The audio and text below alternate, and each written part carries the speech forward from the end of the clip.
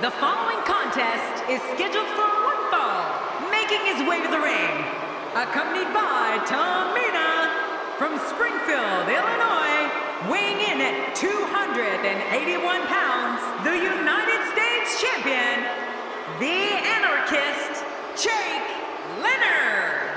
Oh boy, we're in for a treat tonight. Both of these superstars look geared up and ready to go. The athleticism on display in this upcoming match is going to be unreal.